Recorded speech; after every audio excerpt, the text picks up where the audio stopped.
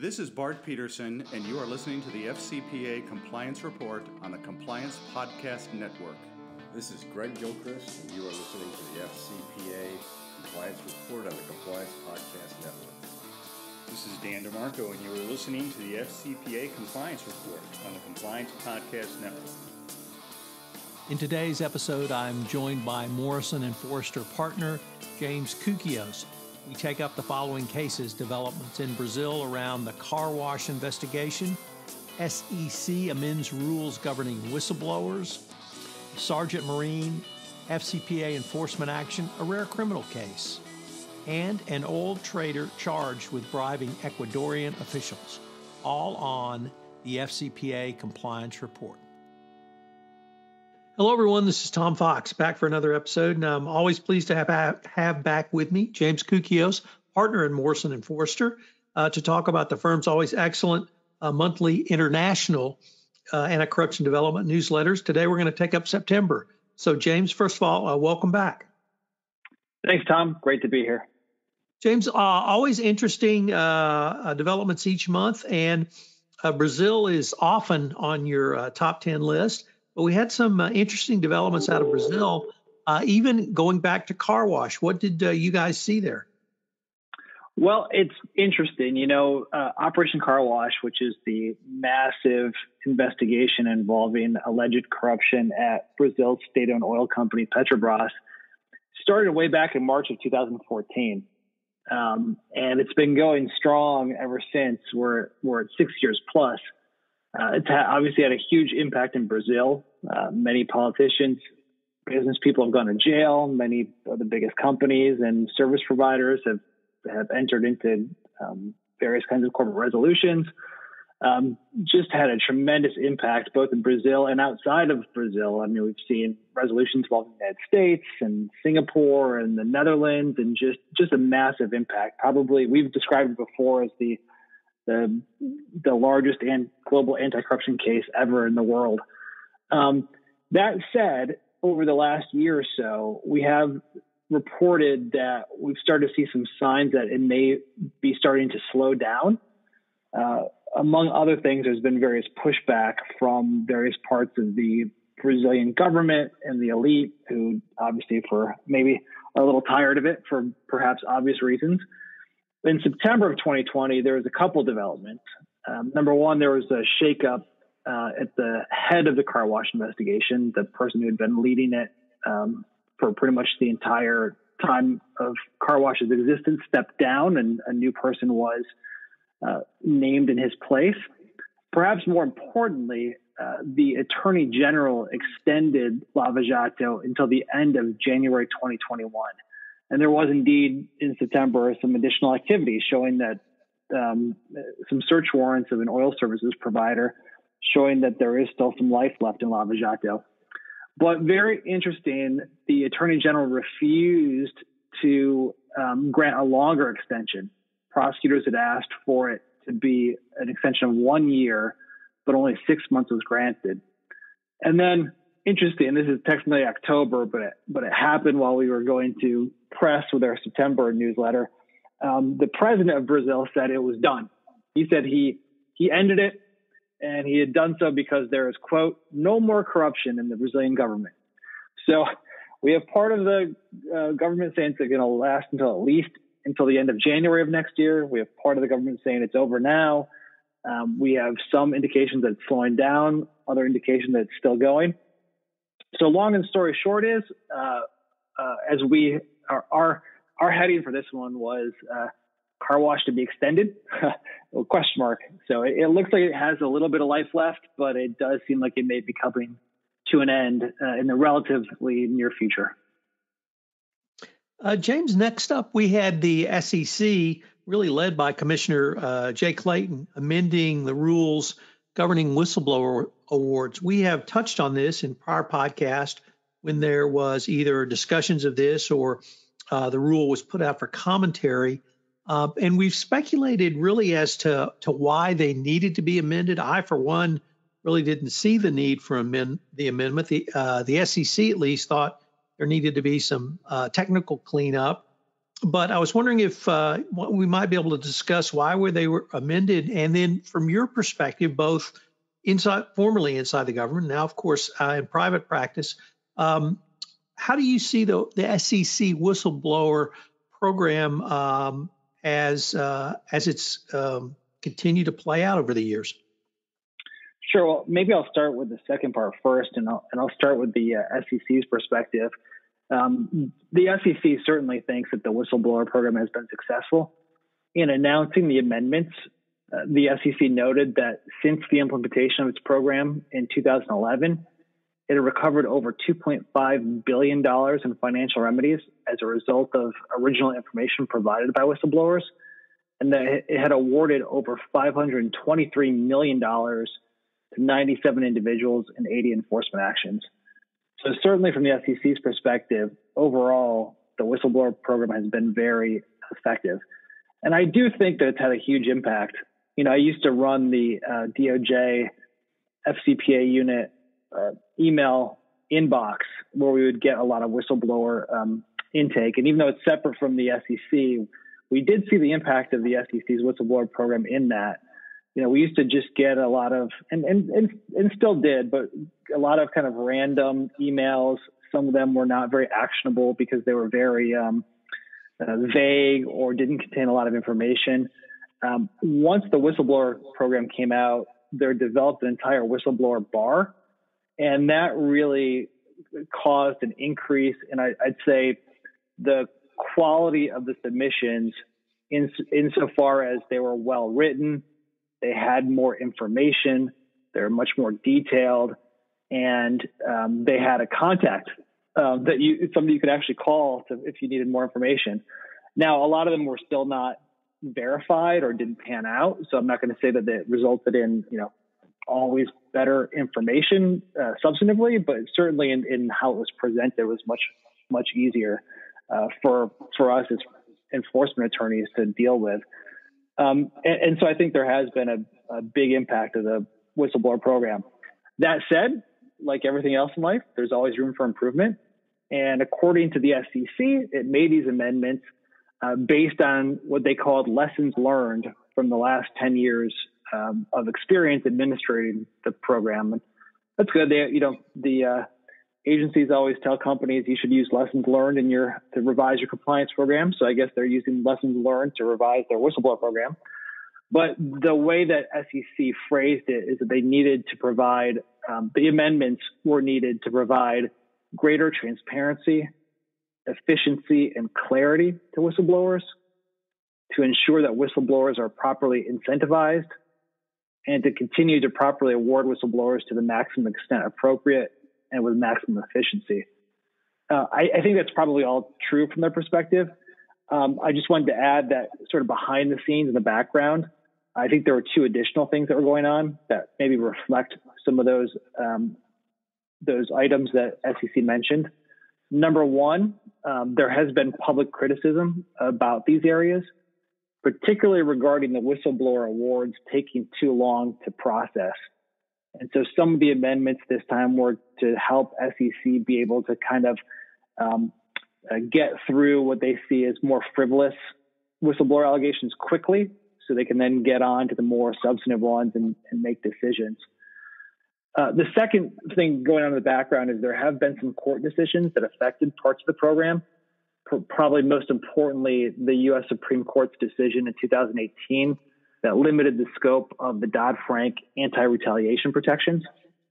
And uh, some of the amendments this were uh, intended to address that as well. So, Supreme Court said uh, the protection didn't go as far, and so the SEC had to amend their rules to react to that. And that really leads to the last point I wanted to raise with you, not specifically whistleblower related, but we've had two uh, Supreme Court decisions directly impacting the SEC over the past, I think, about three years.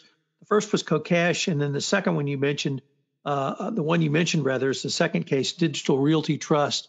Do you see any um, potential emphasis in uh, either the Biden administration or the incoming Congress to uh, basically overturn those Supreme Court decisions by uh, administrative or rather uh, a legislative change? There has been some talk about legislative fixes for both Kokesh and digital realty. I think um, the Kokesh fixes were actually discussed in Congress, but nothing happened. Um, digital realty seemed a little bit farther away. Um, so uh, there is the, there does seem to be some appetite to discuss legislative fixes. They haven't gone very far yet. Um, well, of course, like everything, have to wait and see if um, we have divided government or not after the election here. Um, there may be some interest, perhaps, on the Democratic side to fix these, and maybe less interest on the Republican side to do so. But um, they haven't. It doesn't seem like they've got a lot of impetus thus far in terms of the legislative fixes. And instead, it may be just left to the SEC to try to figure out either through practice or through administrative rules how they're going to deal with these rulings. Um, James, next up is a case, frankly, I've been looking forward to visiting with you about. It's one of the most delicious FCPA cases I've seen in quite a while. It's the Sargeant Marine case.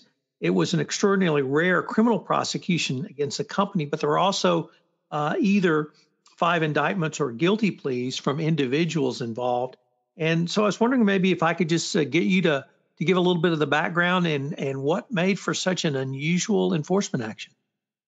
Sure, it's it's interesting you use the word delicious because the product involved was asphalt, which I don't think most people would consider to be very delicious. But um, this is basically um, a case involving Sargeant Marine, which is a Florida-based uh, marine uh, uh, uh, oil services company. They provide asphalt to uh, various, in this case, um, South American state-owned oil companies, Petrobras, Petroecuador, and PDVSA. And the allegations were they used various middlemen and schemes and whatnot to pay bribes to officials at those oil companies to buy their product. Um, it was uh, there was a lot going on in that case. It, there was a guilty plea, not unheard of for a company, but there was a guilty plea for the company. Uh, and then there were a number of um, individuals who were charged and, um, and, and pled guilty that had been previously unannounced. DOJ essentially waited until they reached um, agreement with the company, and then they announced the individual guilty pleas by three company employees and traders, an agent and a consultant in Brazil and Venezuela, as well as a former Venezuelan government official who was an alleged bribe recipient. Um, and then the, all of those folks had pled guilty. And then there was the unsealing of a criminal complaint against yet another um, former Venezuelan official as, as, well. So very um, uh, kind of big announcement at, at the time. Uh, company plus all these individual uh, cases.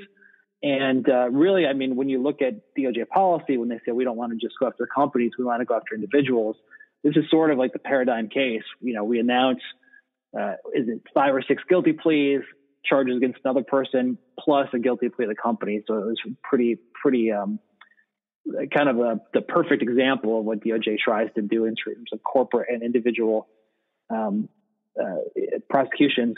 Little interesting that there is a, a, a company guilty plea in this case you know, one of the factors that DOJ is supposed to consider when they're deciding how to resolve a corporate case uh, is whether um, there is uh, an ability to bring charges against individuals. And presumably, I mean, the thought is if you can bring cases against individuals, there's less of a, a reason to bring a case against the company. Um, or perhaps sometimes it manifests itself as a deferred prosecution or a non prosecution agreement against the company when it's accompanied by uh, uh, individual prosecutions, especially where it seems like the company cooperated in those as well. And there are some pretty high level prosecutions here. In fact, one of the defendants was a, a, had the same name as the company, um, Daniel Sargeant. Um, so it's a little unclear to me why, in this particular case, there was a, requirement that the company actually plead guilty instead of enter into a deferred prosecution agreement or something like that. Um, my speculation here from reading the charges is that it went pretty high up in the company and it involved pretty senior level officials. And those are two circumstances where you, the principles of federal prosecution of business organizations would, would tend to kind of weigh in favor of a more severe penalty in that regard. Um, one other interesting thing about this resolution, and I think you wanted to talk about it, Tom, was the uh, inability to pay analysis. Is that right? Yes. Okay. So um, back in uh, when was it? I believe it was uh, 2018. Uh, DOJ, sorry, it was October 2019. Uh, DOJ Criminal Division released a formal policy uh, to guide prosecutors on how to uh, approach inability to pay claims. those had happened in the past in some FCPA resolutions, not often, but sometimes. The Odebrecht um, resolution, for example, the Nordam resolution. Um, and, you know, I think DOJ did a pretty good job with that, but the criminal division felt like it needed to be more structured. So in October 2019, they put out guidelines on that. I believe this is the first case to apply those guidelines in the FCPA context since those were released.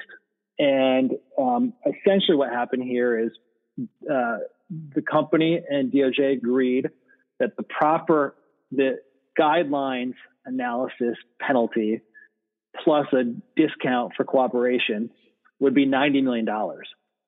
But then the company told DOJ that they couldn't pay that much. And so they followed the inability to pay guidance, uh, went through the process, examined the company's finances, um, looked at what impact this would have on its ability to continue to exist as a company, um, and decided that the proper fine was only $16.6 million. So you had almost a 73, 74 million dollar discount in the in the penalty because of an inability to pay. Not only was it reduced, but there was also an installment plan. So um, Sargeant Marine only had to pay part of that immediately, and then it was given eight months to pay the rest. Um, and so that we see kind of, I think that I can recall the first real application of that inability to pay guidance in an actual FCPA resolution. The um, inability to pay, to me, James, actually seemed to turn on the fact that they could no longer count on the revenue uh, that they had been receiving from the South American energy companies by paying bribes. And so I thought part of my deliciousness in this case was that the circular argument that because we can't pay bribes and we've now been criminally prosecuted for it, we can't pay you the fine and penalty. Uh, and I just thought that was an anomaly. But the other thing was, it really drove home to me the message of the following. Years ago, I met a um, person who had been in Panalpina back in the day, and um, he stayed through the uh, enforcement action. Uh, and he said that Panalpina could never uh, recover the revenues that they lost because they basically didn't know how to do business in uh, Africa ethically and in compliance uh, with the FCPA. And the Sargeant Marine case struck me as, as close to that uh, and a, a, really powerful message that beyond the fines, beyond the penalty, beyond the reputational damage, and beyond the potential, um, you know, individual liability, you can literally put a company out of business uh, if you base your business strategy on bribery and corruption and you're caught. So I thought that was an, an interesting lesson.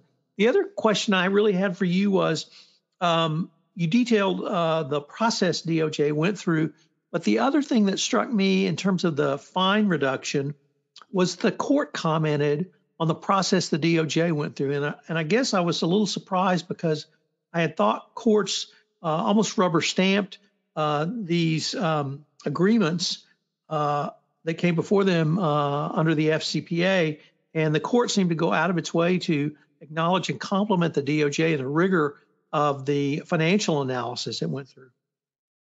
Interesting. Yeah, I mean, there's been a number of uh, appellate court decisions that do limit the ability of judges to set aside um, DPAs, for example, um, but they do have to when it's a guilty plea, and if it's a C plea in particular, they have to make sure the judge has to make sure that they're comfortable with the uh, the analysis and the the uh, agreed upon guideline range because they're bound by it. So it's a, it's an interesting fact. Um, I do remember even before um, the the formal guidance was released, um, I was involved in one of the inability to pay cases, and it was very it was very rigorous. I mean, there there were experts hired. Um, you know, we looked very closely at the company's finances. The the formal guidance really outlines how to do this in a very rigorous way. So I, I agree, it is a very um, rigorous process. You know, and and some other important things. It's not just um, an argument that hey, you know, if we have to pay this money, we may not be able to sell as much next year, or we can't in, invest in this R and D or things like that. It's actually supposed to be existential questions. Uh, in other words, you know, if we if we pay you ninety million dollars, we will no longer exist as a company. Um, so I, I, I now get your point about the deliciousness, um, but but that sort of is exactly what the um, inability to pay guidance is supposed to be. You know, uh, if you pay this money and you have no income, you will go out of business. James, we had uh, one uh, matter I just wanted to touch on uh, for some uh, kind of personal reasons, and that was uh, you cited a oil trader charged with bribing an Ecuadorian official. And the reason I found this interesting from my perspective is over the past, I don't know, maybe five, even seven years, I had lots of discussions with energy companies in Houston about traders getting in trouble. And they maintain that, look, this is just oil trading.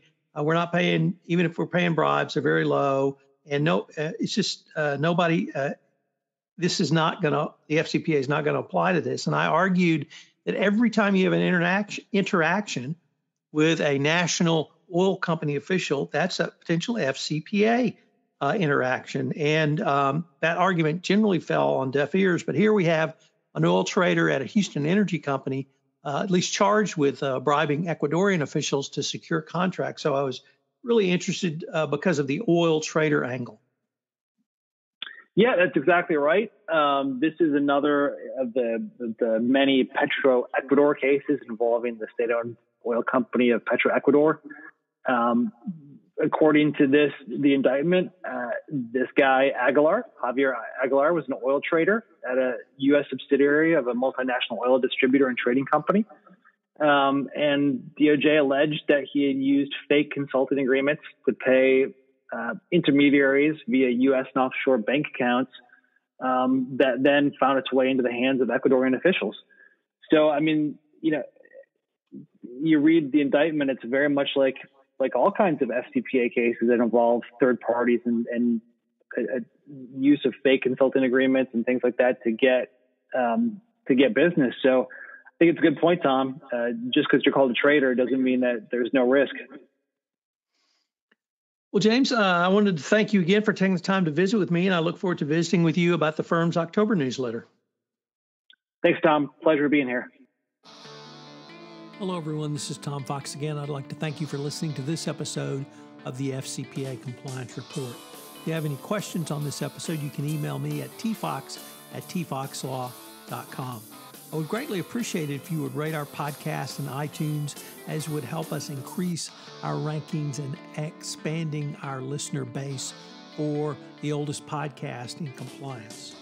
If you have any questions you'd like explored on this podcast, please send them to me as well, or you can leave them on the Compliance Podcast Network.